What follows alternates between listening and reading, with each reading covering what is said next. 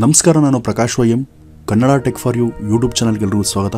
ವೀಕ್ಷಕರೇ, ಇವತ್ತಿನ ವಿಡಿಯೋದಲ್ಲಿ ನಿಮಗೆ ಒಂಟೆ ಬಗ್ಗೆ ಗೊತ್ತಿಲ್ಲರೋ ಕೆಲವು ಅಚ್ಚರಿ ಮಾಹಿತಿಗಳನ್ನ ತಿಳಿಸ್ಕೊಡ್ತಾ ಇದೀನಿ ವಿಡಿಯೋ ತುಂಬಾ ಇಂಟ್ರೆಸ್ಟಿಂಗ್ ಇರುತ್ತೆ ದಯವಿಟ್ಟು ವಿಡಿಯೋನ ಕೊನೆವರೆಗೂ ನೋಡಿ. ವೀಕ್ಷಕರೇ, ಒಂಟೆಯ ದೇಹ ಏನಿದೆ, ಇದು ಒಂದು ಪ್ರಕೃತಿಯ ಕೊಡುಗೆ ಅಂತಾನೆ ಹೇಳಬಹುದು. ಒಂದು ಅಂದಾಜಿನ ಪ್ರಕಾರ ಈ ಜಗತ್ತಲ್ಲಿ ಸುಮಾರು ಹದಿನೈದು ಮಿಲಿಯನ್ ಒಂಟೆಗಳಿದೆ ಅಂತ ಹೇಳಲಾಗುತ್ತೆ. ವೀಕ್ಷಕರೇ ನಿಮ್ಗೆಲ್ಲರೂ ಗೊತ್ತಿರೋ ಹಾಗೆ ಒಂಟೆ ಮರಳುಗಳಲ್ಲಿ ಜೀವಿಸುವ ಒಂದು ಪ್ರಾಣಿಯಾಗಿದೆ. ಮತ್ತೆ ಅಲ್ಲಿ ಎಷ್ಟೇ ಜೋರಾಗಿ ಗಾಳಿ ಬೀಸಿದ್ರು ಕೂಡ ಆ ಗಾಳಿಯಲ್ಲಿ ಬರುವ ಮರಳೇನಿದೆ, ಆ ಒಂದು ಮರಳನ್ನ ಇದು ಉಸಿರಾಡಬೇಕಾದ್ರೆ ಒಂದೇ ಒಂದು ಚಿಕ್ಕ ಮರಳನ್ನು ಕೂಡ ತನ್ನ ದೇಹದ ಅದು ತಗೊಳ್ಳೋದಿಲ್ಲ ಅಂತಹ ಶಕ್ತಿ ಒಂಟೆಗಿದೆ. ಮತ್ತೆ ತಾನು ಉಸಿರಾಡೋ ಗಾಳಿ ಏನಿದೆ, ಆ ಗಾಳಿಯಲ್ಲಿ ಬರುವ ತೇವಾಂಶ ಏನಿದೆ, ಅದನ್ನ ಸಪ್ರೇಟ್ ತಗೊಂಡು ಮತ್ತೆ ಗಾಳಿನ ಸಪ್ರೇಟ್ ತಗೊಳ್ಳೋ ಪ್ರಪಂಚದ ಏಕೈಕ ಜೀವಿ ಅಂದ್ರೆ ಅದು ಒಂಟೆ ಮಾತ್ರ. ಮತ್ತೆ ಒಂದು ಒಂಟೆ ಸುಮಾರು ಒಂದೂವರೆ ಸಾವಿರ ಕೆಜಿ ತೂಕನ ಹೊರುವ ಸಾಮರ್ಥ್ಯ ಒಂಟೆಗಿದೆ. ಮತ್ತೆ ಒಂದು ದಿನಕ್ಕೆ ಸುಮಾರು ನಲವತ್ತರಿಂದ ಐವತ್ತು ಕಿಲೋಮೀಟರ್ ದೂರ ಅದು ಕ್ರಮಿಸಬಲ್ಲದು. ಮತ್ತೆ ಸುಮಾರು ನಲವತ್ತೈದರಿಂದ ಐವತ್ತು ಡಿಗ್ರಿ ಉಷ್ಣಾಂಶ ಇದ್ರೂ ಕೂಡ ತನ್ನ ದೇಹದಲ್ಲಿ ಒಂದೇ ಒಂದು ಚಿಕ್ಕ ಬೆವರ ಹನಿ ಕೂಡ ಒಂಟೆಯಿಂದ ಬರೋದಿಲ್ಲ. ಮತ್ತೆ ಅದು ಎಷ್ಟೇ ಸುಡ ಬಿಸಿಲಲ್ಲಿದ್ರೂ ಕೂಡ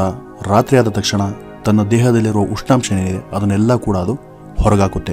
ಹಾಗಾಗಿ ಒಂಟೆ ಇರೋ ಜಾಗ ಏನಿದೆ, ಆ ಜಾಗ ತುಂಬಾ ಚಳಿ ಇರುವಂತ ಒಂದು ಸಮಯದಲ್ಲೂ ಕೂಡ ಅದರ ಅಕ್ಕಪಕ್ಕ ನೀವು ಇದ್ದಾಗ ನಿಮಗೆ ತುಂಬಾ ಬಿಸಿ ಇರುತ್ತೆ. ಮತ್ತೆ ಒಂಟೆ ಒಂದು ಸಲಕ್ಕೆ ಸುಮಾರು ನೂರ ನಲವತ್ತೈದರಿಂದ ನೂರ ಐವತ್ತು ಲೀಟರ್ ನೀರನ್ನ ಒಮ್ಮೆಲೆ ಕುಡಿಯುತ್ತೆ. ಮತ್ತೆ ನೀರಿಲ್ದೇನೆ ಅದು ಸುಮಾರು ಇಪ್ಪತ್ತು ದಿನದವರೆಗೆ ಬದುಕಬಲ್ಲದು. ಮತ್ತೆ ಒಂಟೆಗೆ ಬಾಯಾರಿಕೆ ಆದಾಗ ಅದು ಸಮುದ್ರದ ನೀರನ್ನು ಕೂಡ ಕುಡಿಯುತ್ತೆ. ನಿಮ್ಗೆಲ್ರಿಗೂ ಗೊತ್ತಿರೋ ಹಾಗೆ ಸಮುದ್ರದ ನೀರು ತುಂಬಾ ಉಪ್ಪಾಗಿರುತ್ತೆ.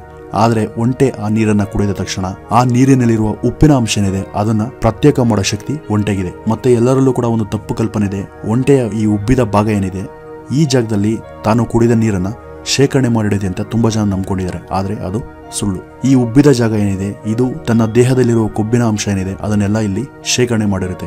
ಅದಕ್ಕೆ ಯಾವಾಗ ಆಹಾರ ಸಿಗೋದಿಲ್ವೋ, ಆಗ ಅದು ಅಲ್ಲಿಂದ ಕೊಬ್ಬನ್ನ ಪಡೆದು ತನ್ನ ದೇಹಕ್ಕೆ ಅದು ರವಾನೆ ಮಾಡುತ್ತೆ. ಮತ್ತೆ ತನ್ನ ಮೂತ್ರಪಿಂಡದಲ್ಲಿ ನೀರನ್ನ ಶೇಖರಣೆ ಮಾಡೋ ಶಕ್ತಿ ಒಂಟೆಗಿದೆ. ಮತ್ತೆ ಒಂಟೆ ಸುಮಾರು ಸಾವಿರ ಕಿಲೋಮೀಟರ್ವರೆಗೂ ನೀರಿಲ್ದೇನೆ ನಡೆಯಬಲ್ಲ ಶಕ್ತಿ ಒಂಟೆಗಿದೆ. ಮತ್ತೆ ಈ ಒಂಟೆಯನ್ನ ಪ್ರಕೃತಿಯ ಅತ್ಯದ್ಭುತ ಸೃಷ್ಟಿ ಅಂತಾನೆ ಹೇಳಬಹುದು. ಯಾಕೆಂದ್ರೆ ಯಾವಾಗಲೂ ಕೂಡ ಮೈದಾನದಂತಹ ಪ್ರದೇಶದಲ್ಲಿ ಬದುಕೋ ಈ ಒಂದು ಪ್ರಾಣಿ ಏನಿದೆ?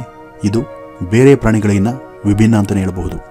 ಇದಿಷ್ಟು ಇವತ್ತಿನ ವಿಡಿಯೋದಲ್ಲಿರುವ ಒಂಟೆಯ ಬಗ್ಗೆ ಒಂದು ಚಿಕ್ಕ ಮಾಹಿತಿ. ನಿಮ್ಗೇನಾದರೂ ಈ ವಿಡಿಯೋ ಇಷ್ಟ ಆಗಿದ್ರೆ ದಯವಿಟ್ಟು ಈ ಒಂದು ವಿಡಿಯೋ ನಿಮ್ಮ ಸ್ನೇಹಿತರೊಂದಿಗೆ ತಮ್ಮ ತಮ್ಮ ವಾಟ್ಸಪ್ ಗ್ರೂಪಲ್ಲಿ ಶೇರ್ ಮಾಡಿ. ವಿಡಿಯೋ ನೋಡಿದ್ದಕ್ಕೆ ಧನ್ಯವಾದ.